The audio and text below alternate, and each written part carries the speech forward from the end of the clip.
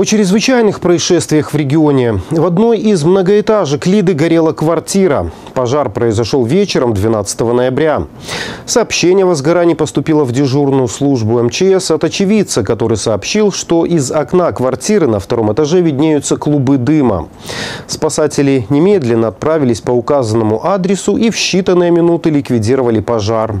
Огнем повреждено имущество, закопчены стены и потолок. Причина пожара устанавливается. Вероятнее всего, к происшествию привела оставленная без присмотра горящая свеча.